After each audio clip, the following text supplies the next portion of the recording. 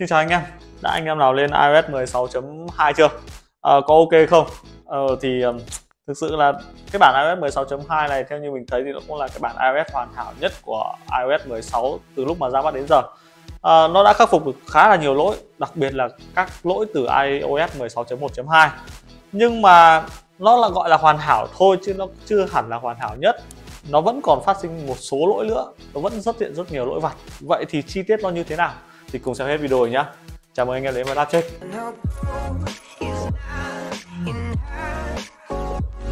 Hôm nay thì bên mình mới lên được cái video trải nghiệm iOS 16.2 này thì tính đến thời điểm này nó khá là muộn rồi à, nhưng mà anh em có thể thấy trước mặt mình đây đang là tổng cộng là 7 con máy iPhone 14 Pro Max, iPhone 14 Pro, iPhone 14, 13 Pro Max, 12 Pro, 11 Pro Max và iPhone XS Max. Thì mình tất cả những con máy ở đây mình đã lên iOS 16.2 rồi. Mình đã test kỹ tất cả các tính năng để xem nó có lỗi gì hay không thì cũng đã phát hiện ra một vài lỗi. Nhưng mà trước khi mà đi vào các lỗi vặt như thế thì à, đầu tiên là mình sẽ liệt kê cho anh em một vài tính năng mà theo như mình thấy nó khá thú vị ở iOS 16.2 này. Tính năng đầu tiên ở iOS 16.2 được nâng cấp là tính năng Always on Display này đã được làm giống hệt với Android. Bây giờ thì các bạn chỉ nhìn thấy một cái màn hình đen cùng với đó là đồng hồ, các widget đi kèm. À, để bật cái tính năng này lên ấy thì các bạn vào cái phần màn hình độ sáng ở cái màn hình luôn bật đây, tắt hai cái mục này đi giúp mình. À, thì khi mà cài đặt cái tính năng này lên ấy thì nó đã khắc phục được cái lỗi là pin sụt nhanh ở cái màn hình Away on Display cũ Thứ hai đó là ứng dụng Freeform. Thì đợt này Apple đã ra mắt chính thức cái ứng dụng Freeform cho iPhone, iPad và MacBook. Thì đây là công cụ soạn thảo trên một cái bảng trắng, các bạn hoàn toàn có thể vẽ thêm nhiều nội dung khác nhau, chẳng hạn như là video, hình ảnh, nốt ghi chú, đồ họa hoặc ảnh, nhạc tập tin hoặc là hơn thế nữa. Cái ứng dụng này còn có cái hay là nó có thể chia sẻ trực tiếp với người khác cùng cộng tác làm việc với nhau, hỗ trợ sáng tạo nhiều nội dung khác nhau trong cái bảng này. Và các bạn có thể thấy là độ trễ của nó đang khá là thấp cái tính năng thứ ba thì theo như mình thấy khá là hay đó là tính năng bật airdrop lên thì bây giờ airdrop nó không chỉ là tính năng cho mọi người nữa mà bây giờ sẽ là mọi người trong vòng 10 phút. Thì uh, khi mà sau 10 phút rồi nó sẽ tự tắt tính năng này đi. À, thì cái tính năng này nó hay một cái là trước nếu mà các bạn để mọi người ấy, thì lúc nào các bạn cũng có thể là airdrop hình ảnh cho người khác được thì nó sẽ tránh cái tình trạng bị quấy rối. Nhưng mà theo như mình thấy tại sao Apple đã thêm cái tính năng mọi người trong vòng 10 phút này thì không làm thêm một dòng nữa là mọi người bên dưới để cho ai mà thích uh, dùng không muốn tắt ấy thì cứ để ở đây này thì có phải là hợp lý hơn không? Tự nhiên ông Apple ông ấy thêm cái này ông cắt mấy ai kia thì còn gì mà nói nữa. cái tính năng thứ tư đó là Apple Music. Thì Apple Music thì chắc chắn các bạn cũng nghe nhiều bên nói rồi. Thì nó đã sẽ nâng cấp tính năng karaoke. Nó sẽ tách lời ra để các bạn có thể là hát theo lời bài hát. Nhưng mà thực sự cái tính năng này ấy, thì theo như mình thấy nó không phổ biến cho lắm. Bởi vì là Việt Nam mình Apple Music nó chưa hẳn là được nhiều người sử dụng đến mà mình thì mình theo như ý kiến của mình nhá thì mình sẽ thường xuyên mình sử dụng Spotify hơn. Hoặc là một cái ứng dụng khi mà mình muốn hát karaoke thì mình sẽ sử dụng uh, trên nền tảng YouTube ấy thì nó sẽ đa dạng lên uh, nền tảng nhạc hơn.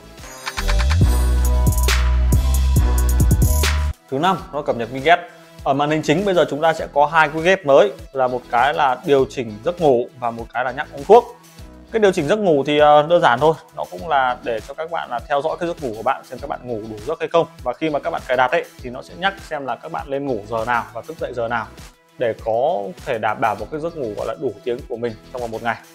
À, cái tính năng thứ hai nữa là cái um, nhắc uống thuốc. Nhắc uống thuốc thì uh, nếu mà các bạn đang nào đang có một liệu trình uống thuốc mà thường xuyên quên ấy thì có thể set up cái liệu trình ở trên đây. Thì đơn giản là thêm một cái liệu thuốc này chẳng hạn bị bị xoang nhá thì thêm liệu trình ở đây. Tiếp này xong mình chọn một viên nang viên nén chẳng hạn.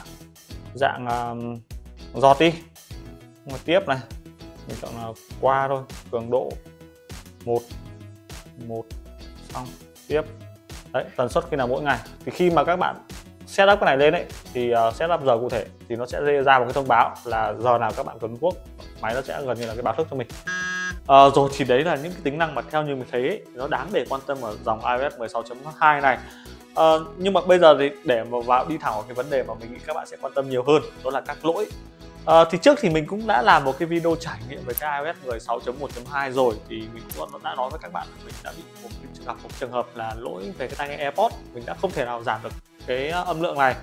Nhưng mà qua iOS 16.2 thì nó đã khắc phục được cái lỗi đó nó cũng đã khắc phục được rất nhiều lỗi chẳng hạn như là sụt pin nhanh chơi game à, nó cũng cảm giác nó sẽ tốt hơn một chút. À, nhưng mà đấy là các dòng máy ở đây thì cũng rất may một cái vấn đề mình phải nói là rất may luôn là trong vòng 7 máy đây thì đã có một con của mình nó đã bị lỗi. Đó chính là con 12 Pro này. Thì con 12 Pro này nó của bạn mình thì trước khi mà nó đang dùng lên iOS 16 ấy thì nó đang ở hệ điều hành là 15.7 à, sau khi nó lên iOS 16 là đầu bản đầu tiên 16 nó lên là 16.1.2 thì nó đã xuất hiện tình trạng là giật đơ lag và thường xuyên bị reset máy. Thì nó đang đợi là lên iOS 16.2 xem có bị tình trạng như thế hay không. Thì nó vẫn bị tình trạng như thế và nó vẫn chưa hoàn toàn khắc phục được cái lỗi đó. Và một cái lỗi nữa ấy, thì cái lỗi này là lỗi chung của iOS 16 rồi là từ đợt iOS 16 thì nó đang bị gặp một cái tình trạng là cái iOS này nó chưa tối ưu hóa tốt về cái hiệu năng chơi game. Nó vẫn bị tình trạng là tụt FPS kể cả từ các dòng iPhone 14 Pro 14 Pro Max trở lên. Mặc dù là con chip của nó đang sử dụng một con chip là A16 Bionic một con chip mạnh nhất trong cái thời điểm bây giờ. Nhưng mà nó vẫn, khi mà các bạn chơi game như kiểu chẳng hạn, chơi mấy cái tựa game cơ bản thôi là liên minh cái tốc chiến thì FPS của bạn nó vẫn chỉ loanh quanh của tầm là 58 57 thôi. Nhưng mà sau khi mà lên iOS 16.2 thì nó vẫn chưa fix được cái lỗi đấy. Thực sự là rất là đáng buồn. Nó vẫn bị trong khi đó thì những con đời iPhone thấp hơn như là iPhone XS Max và iPhone 11 Pro Max ấy thì theo như mình trải nghiệm là FPS nó hoàn toàn ổn định ở mức 60 nó lại không bị tụt. Không hiểu tại sao còn dòng 12 Pro hất lên thì lại chỉ loanh quanh là 758 thôi. À, một cái đặc biệt nữa nhá là con iPhone 13 Pro Max của mình. Trước khi mà mình lên iOS 16.2 thì mình đang ở 16.1.2 thì mình có đo điểm được à, Bluetooth nó rơi khoảng tầm à, hơn 800 000 điểm. Nhưng mà sau khi lên 16.2 thì số điểm mình đo được thì đã lại không quá 700 000 điểm. Lần đầu thậm chí cũng có 600 000 điểm cơ không hiểu nó bị làm sao. À, và đấy thì và đó cũng là tất cả những lỗi mà mình test được trong khoảng tầm 2 ngày. Thì um, những ngoài những lỗi đó ra thì cũng có một số bạn bảo mình là ở các dòng iPhone thấp hơn thì có tình trạng sụt pin hay là tình trạng nóng máy chẳng hạn như là iPhone XS hoặc XR chẳng hạn. Những cái lỗi như vậy thì mình nói thẳng ra nó không hoàn toàn do là do iOS đâu, mà nó còn một số lý do khác nữa. Bởi vì là đã, bạn nào đã thắc mắc cái vấn đề này chưa? Là máy của mình nhá, là cũng là 12 Pro, máy của bạn mình cũng là 12 Pro, cùng lên một cái hệ điều hành là iOS 16.2 nhưng mà máy của mình lại xuất hiện lỗi, còn máy của bạn mình hoàn toàn là dùng ổn. Vậy thì lý do chính xác là như thế nào? Thì hôm nay mình có mời một anh bạn của mình là kỹ thuật phần mềm ở chuỗi cửa hàng Clickbuy sang đây để giải thích cái vấn đề này. Chào bạn thì hôm nay ở đây thì mình cũng mời bạn qua đây để giải quyết một cái vấn đề là tại sao cùng một đời máy cùng một cái hệ điều hành nhưng mà máy bị lỗi và máy không bị lỗi. Thì bạn có thể chi tiết tại sao như vậy? Ok. Uh, xin chào tất cả các bạn. Uh, mình là Nam. Hiện tại là mình đang làm kỹ thuật mềm ở bên Clickbuy. Uh, thì về vấn đề uh, bạn vừa nói thì mình cũng đã gặp khá nhiều rồi. Bởi vì uh, mình là người tiếp xúc trực tiếp với khách hàng. Uh, khách hàng đến bảo hành phần mềm khá nhiều uh, nhất là về iOS. Uh, người bị người không nhưng trong khi đấy lại cùng bản iOS uh, thì cái đấy mình qua những trải nghiệm thực tế của mình và mình biết được về iPhone nhiều bởi vì mình đã làm cũng khá lâu rồi thì là cái vấn đề thứ nhất đó chính là dữ liệu của các bạn khác nhau.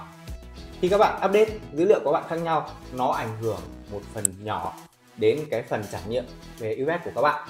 Uh, setting của mình khác nhau setting của người khác lại khác uh, dữ liệu của mình cũng thế người ít người nhiều dữ liệu nọ dữ liệu kia thì các bạn nó ảnh hưởng khá nhiều đến cái phần trải nghiệm thực tế về UX uh, về phần thứ hai thì uh, mình khẳng định đấy là lỗi về vật cứng.